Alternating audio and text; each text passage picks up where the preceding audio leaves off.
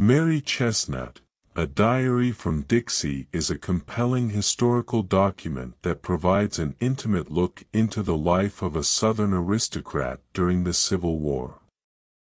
Mary Boykin Chesnut, the author and main character of the diary, was a plantation owner's wife, an active participant in the Confederate social and political circles, and an astute observer of the events unfolding around her. The diary covers the period between 1860 and 1865, chronicling the secession of the Southern states, the outbreak of the war, and its eventual defeat.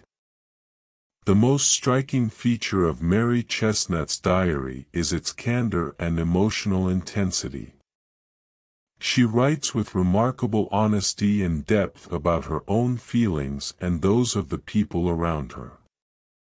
She is unafraid to criticize and mock the Southern leaders, including President Jefferson Davis and his wife Varina, and to express her disillusionment with the cause of the Confederacy.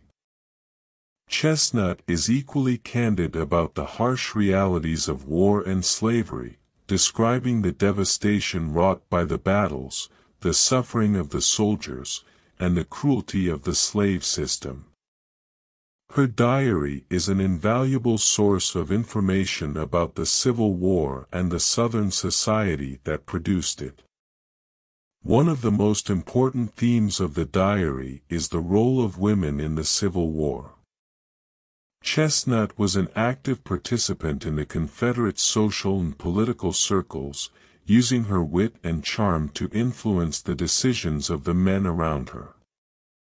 She was also a confidant and advisor to her husband, James Chesnut Jr., a Confederate general and senator.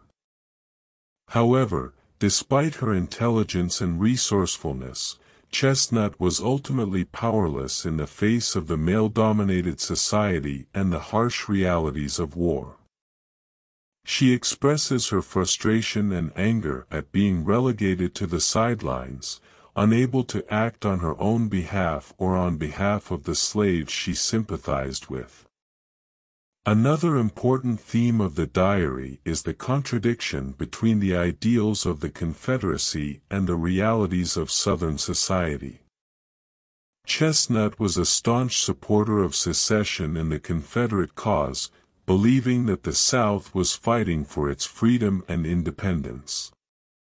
However, she was also aware of the hypocrisy and injustice of the slave system, and the ways in which it contradicted the principles of democracy and human rights that the Confederacy claimed to uphold. Chesnut's diary is an eloquent testimony to the complexity and ambivalence of Southern society, and the difficulty of reconciling its ideals with its realities. Chesnut's diary is also notable for its literary style and historical significance. She was an accomplished writer and her diary is a remarkable piece of literature, filled with vivid descriptions, sharp dialogue, and keen observations. Moreover, the diary is an invaluable historical document, providing a first-hand account of the events and personalities of the Civil War.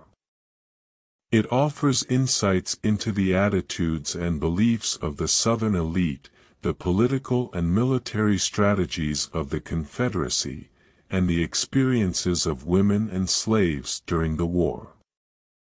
Overall, Mary Chesnut, a Diary from Dixie is an exceptional historical document and a compelling piece of literature.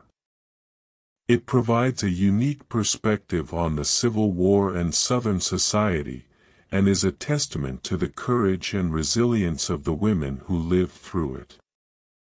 Chesnut's Diary is a must-read for anyone interested in the history of the Civil War, the role of women in American history, or the complexities of Southern society.